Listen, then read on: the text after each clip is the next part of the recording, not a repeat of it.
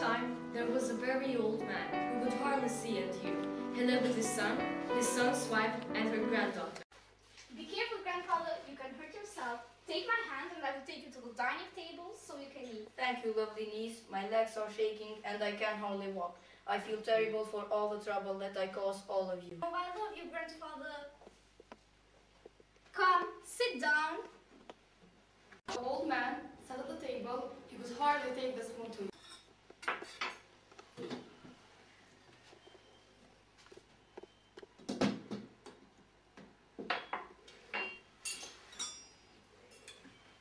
Give me the spoon. I will help you to eat. Here, eat a little.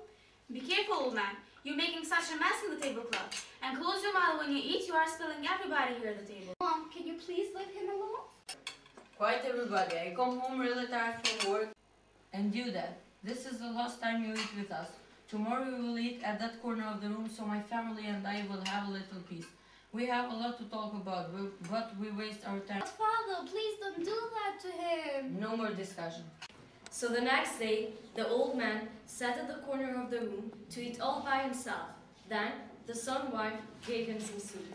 Here, this is all you're going to eat. But mother, that's not enough food for him. Old people don't need to eat much. Anyway, he spills all the food on the table. And what kind of bowl is that? I didn't know you had it. Well, that's an old earthenware bowl I found in the kitchen. I don't want to serve him food in my fine plates. What for? He can't even see the plate, and he can't even eat. So they went to the table, and the old man just looked at them crying. This soup is so delicious. Thanks, dear. I'm glad you like it. Mother, my grandfather is looking to us with his eyes full of tears. Some soup got into his eyes. He needs help, mother. You know he can't eat by himself. His hands are trembling. He can't even hold the bowl. Leave him alone, sure he can.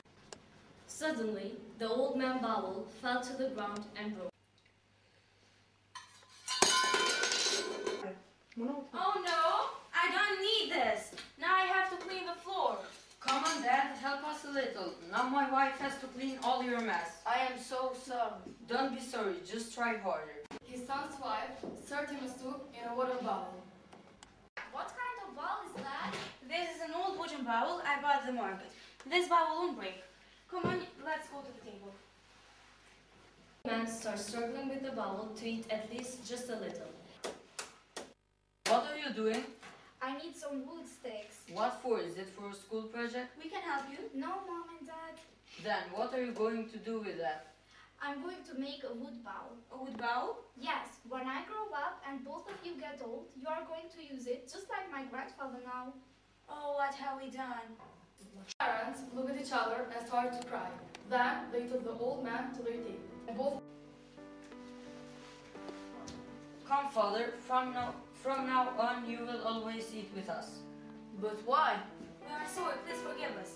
I don't know what are you talking about. I will help you to eat, grandfather. We will help you eat. I make such a mess in the table. Don't worry about that anymore. Happily ever after.